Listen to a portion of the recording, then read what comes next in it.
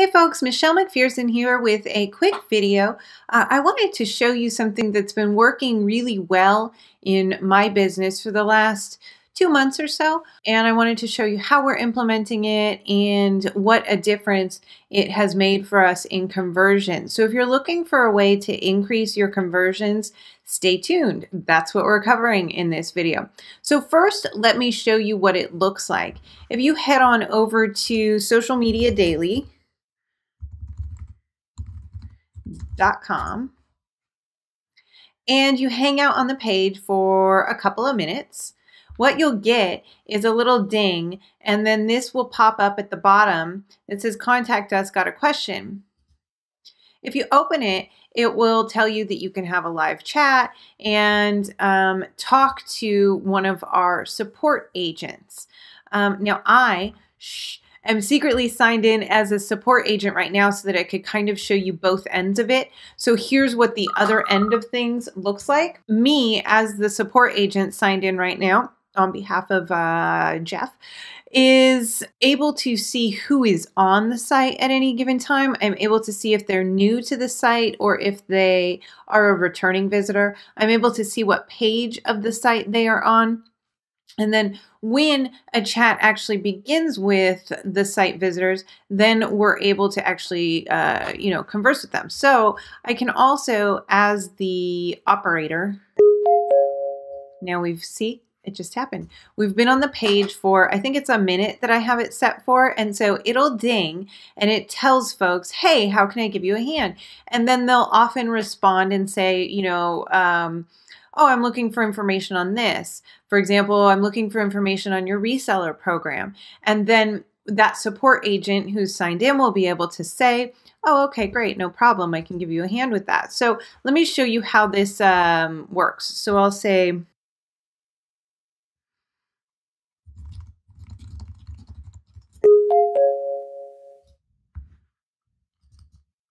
there we go.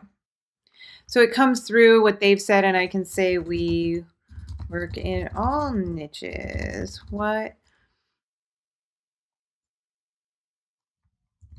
questions do you have about our service and your market? And then that support agent can now go back and forth. And as you can see, that came through for the client here. So that support agent can now go back and forth, find out more about that client or potential client, and then direct them towards the product or service that'll work best for them. Um, we have found a number of things with this.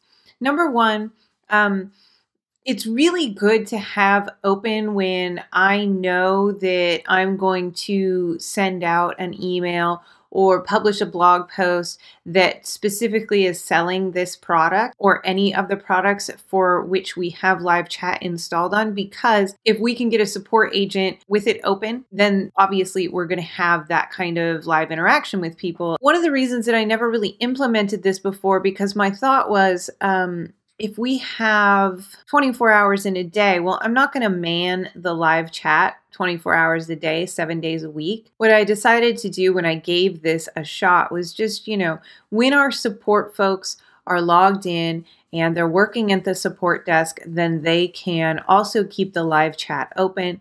When they are not, then they close it. And we're not freaking out about number of hours per day that the live chat is open, although we are, like I said, trying to capitalize on times where a mail goes out or something like that.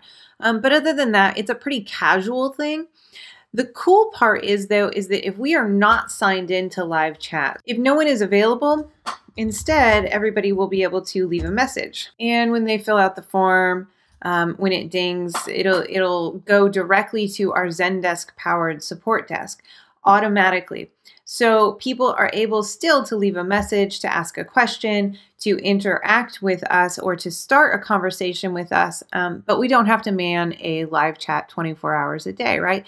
So, um, is it working? Yes, we have seen so many people who first engage in a chat with us and then go on to purchase the product. The idea that there is a human being behind the products and services that are available online is very important to many people. And in this case, people want to know that there's people behind the social media work that we're doing. And people want to know that they can reach somebody we have seen such an increase in conversions from people who first go through and do the live chat. Sometimes we're also often able to direct somebody towards a better fit for them. For example, I was looking through our transcripts, and yesterday I saw a chat that had been had earlier in the week where the customer really wanted to increase their Facebook fan base, and we were able to direct them towards a more appropriate product for them because what they were actually looking at was the Pinterest product page. So we're able to help people out and say, you know, oh, no, no, no, you want to come over here. Or, oh, if you're looking for traffic and you're a retail site, Pinterest is going to be a better match for you, that kind of thing.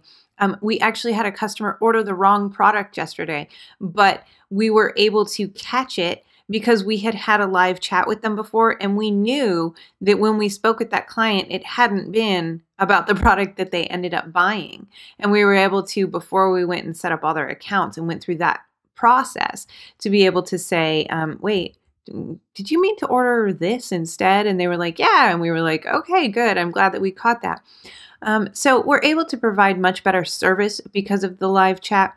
And like I said, we're able to close a lot more deals because uh, we can answer questions and we can help people answer their individual um, concerns and also give people a look at, uh, you know, that there's people behind this business. Final thought it plugs directly into your Zendesk. So if you're using Zendesk, this is a really great integration uh, that has been a big help for us.